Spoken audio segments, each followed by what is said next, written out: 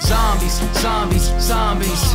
What's up, guys? This is my top 10 favorite zombies. Now, I don't mean zombie movies.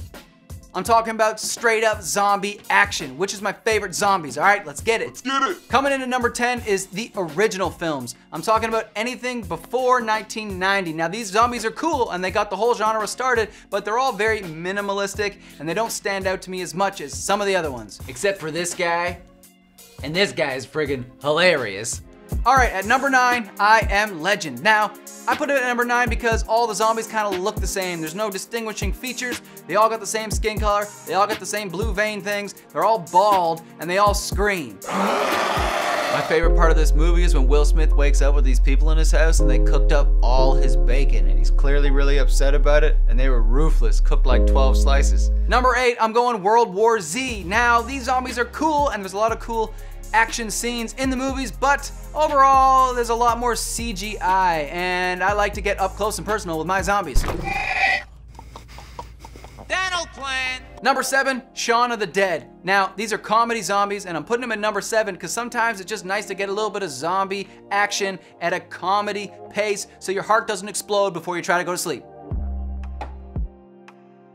Number six, I'm going Land of the Dead, and that's because in this movie, the zombie apocalypse has already taken place for about a year or something like that. So there's really old looking zombies that are all decayed and funny looking, and then there's some real freshies too. And I like that movie, I love it. Number six. I actually met this guy, his name's Eugene Clark, really cool guy, and it's great because he gets to play a zombie that does some thinking. He figures out how to shoot a gun, he gets all the zombies together, and then they somehow figure out how to walk underwater. Now how the f do they do that? All right, number five, I'm going All of Us Are Dead. I'm putting it number five because these are the crunchiest zombies that I've ever seen. If you watch the show, you know exactly what I'm talking about. So much crunchy sound effects, and you know that they got breakdancers and cool stunt guys to do a lot of these zombies because these guys are on the floor all twisted and they're standing up in some breakdance moves and they're getting friggin' flipped and spun over stuff. It's crazy. That's number five.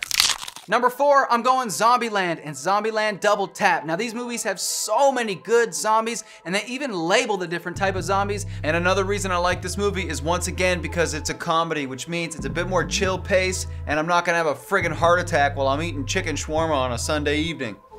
All right, at number three, I'm going 28 days later and 28 weeks later. Now, some people would argue that these aren't actually zombies, that they're infected, but you know what? Just leave me alone. I don't care. I stick them in my top three because they are the scariest, the scariest zombies around. They're so fast, they're so mad, and they're so aggressive, and they're always screaming and coming right for you. So, buckle up.